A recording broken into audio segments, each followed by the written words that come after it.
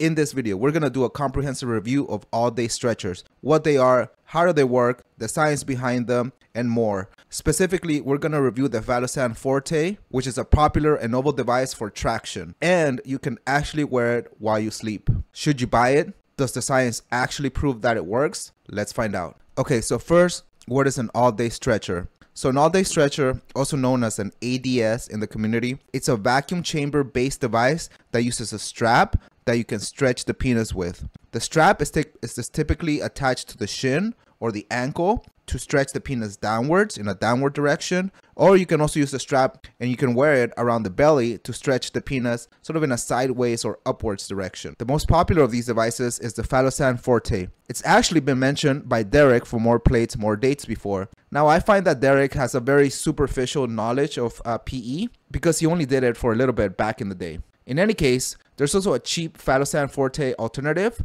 which you can buy on AliExpress for around $20. Now the Phallosan Forte, I believe is around two or three hundred dollars. It's a lot more expensive. And you can watch my review of that cheap one, of that cheap version here. Make sure you find the link here. Uh, now the main difference is the quality and the fact that with the Phallosan Forte, you know precisely how much traction forces you're applying while you're wearing it. It has this little gauge um, with like color guided gauge that you can see how much traction you're actually using. So an ADS specifically refers to a device that uses a strap, right? And can be worn for many hours at a time. So even though the Phallosan Forte uh, can also be used with a rod extender, which is called the Phallosan Forte Plus, this video, we're only going to focus on the ones that use the strap. We're not going to talk about the Phallosan Forte Plus. Now, the real beauty of an ADS is that you can wear it while you sleep. So the Phallosan Forte actually encourages this, and I have tested this myself. It's perfectly safe. I would say you just make sure that you start off with plenty of slack when you're first starting off. And maybe just don't sleep with like your pets or other people. If you have pets and they can be you know they can get all wild just be careful because they can actually uh, pull on it and that can be very dangerous. And you can also wear an ads while you're working or you're running errands or just going about your day. Now my main problem with an ads is that the traction forces can actually vary especially when you're wearing the ankle strap. And it can vary a lot, like from a little bit of tension to very high tension, depending on how you position your leg. Now the belt strap is a lot better because the traction forces will not vary. However, it can be, you know, at least for me, it's a little bit more uncomfortable to wear. It also depends like how well you can hide it. Um, it depends on the, what type of clothes that you wear. I find that this leg strap one is a little bit easier to hide and a lot more comfortable. Now with the Phallosan Forte, uh, you're supposed to use a glans cap. So here's um, what a glans cap looks like. Now, I personally hate using a glans cap. I think it's even more problematic to use if you're uncircumcised like I am. And this is why I prefer to use a micropore tape when using a vacuum chamber. So this is uh, what micropore tapes looks like. I have another video um, that explains how to use a micropore tape when you're using a vacuum chamber and uh, the way that the reason that I like the micropore tape is because it actually holds back the foreskin and it avoids it from being pulled into the vacuum chamber, which can cause actually edema in the in the foreskin, and also it ensures that all the traction is actually applied to the shaft and not the skin. You do not want traction being applied to the skin. But if you're not cut and you use the glans cap successfully, comment below and let me know what your technique is. Maybe I'm doing something wrong. Let me know. My other issue with an ADS is that you cannot just easily add more tension after you put it on. This is why the RestoreX device is quote unquote more effective, meaning that with the RestoreX device, you can wear it for less time per day and you can see similar results. I'll go over the results in a little bit. And the reason for this is because you can actually increase the tension after you've put it on. Increasing the tension after you put on an ADS is not that easy. You have to kind of readjust the straps and it's kind of cumbersome. So I do not personally use or would recommend using an ADS as your main traction therapy mechanism. The only reason that I would recommend for someone to use an ADS if they don't is if they don't work from home or they cannot wear the um, rod extender for you know four hours or more a day. In which case, an ADS, um, while not the most effective, will actually get you results. So how do I use an ADS? Well, luckily, uh, lucky for me, I work from home, so I can wear a rod extender for many hours a day. And extending is my preferred form of therapy. Occasionally, I also do like vacuum hanging with a maximum of around seven pounds, maybe eight pounds maximum. I also have a pulley system on my desk under under my desk. And my desk, I can actually turn it into a standing desk. And then I just put like a bunch of weights on the bucket to extend while uh, while I'm sitting on my desk.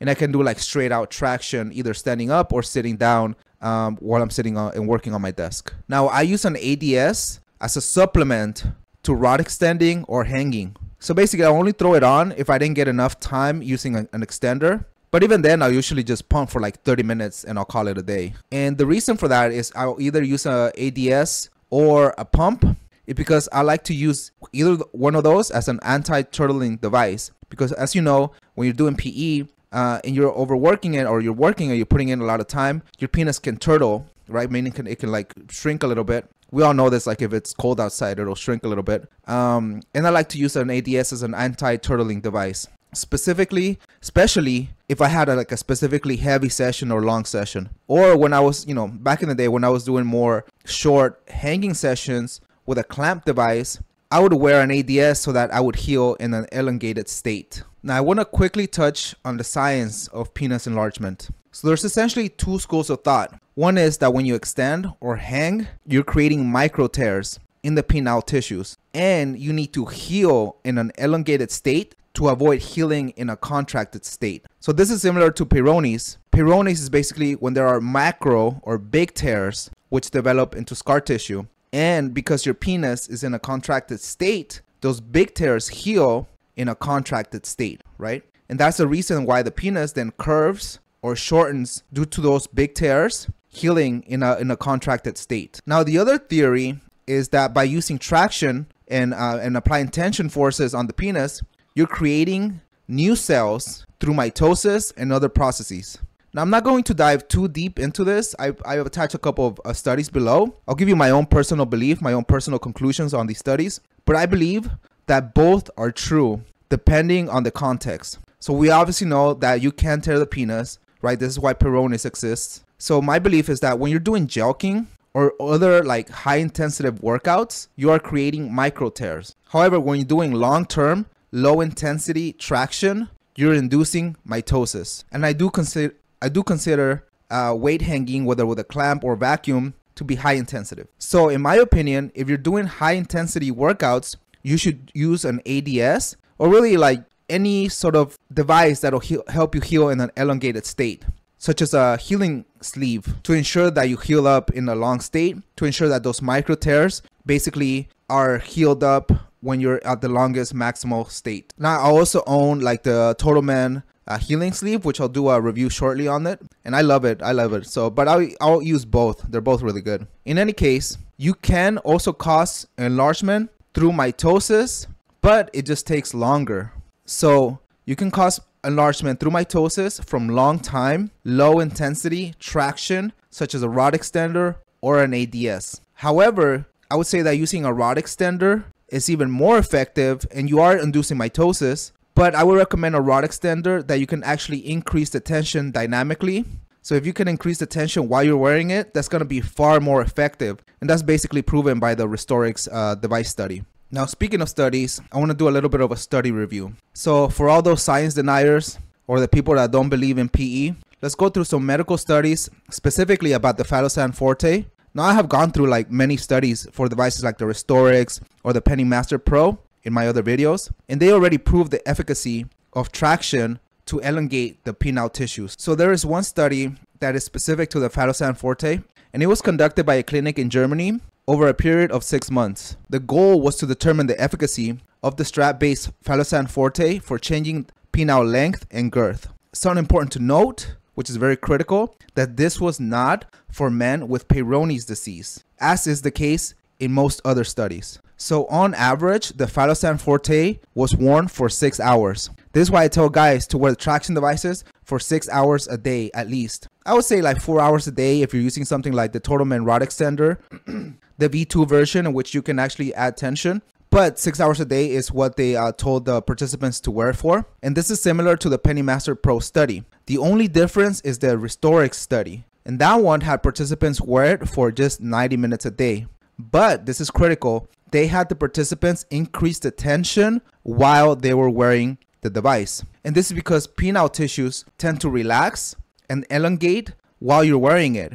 And so it's to in order to have the best type of therapy, you have to increase the tension while you're wearing the device. Now this study followed 24 patients for 6 months. Only two and, and only two of those patients dropped out of the study. However, 5 patients were excluded for unknown reasons. So it's not a huge sample size, but um, good enough for a study. So the average age of the participants was 41 and a half years old when they started the study. Now let's go through some results. So on average, the penis, on average, the girth increased by 0.64 centimeters after three months and 0.80, 0.80 centimeters after six months. The minimum was no increase in girth and the maximum was actually 2.50, two and a half centimeters in girth increase. Very, very interesting. In general, I would say like traction devices are not good for girth gains in any way. So keep in mind though that this was flaccid girth. So it could have just been cold that day or, you know, several other things. Who knows? Now for erect length, right, which is the thing that we all really care the most about. The, the average change after three months was one was 1.05 centimeters. The maximum was 3.80 centimeters, almost 4 centimeters. That was after three months. After six months, the average increase was 1.78 centimeters. That was the average, but the maximum was 4.80 centimeters. Now keep in mind that not all men wore it for six hours a day. So while on average, for all the participants, the Phallosan was worn for more than six hours, rather was worn for six hours, but the maximum was 10 hours. So some participants were really, really motivated and they wore it for up to 10 hours a day. And the minimum was just two hours a day. So we can conclude that the people that wore it the most had the best results. So here we see that the study proved that once again, traction does increase erect length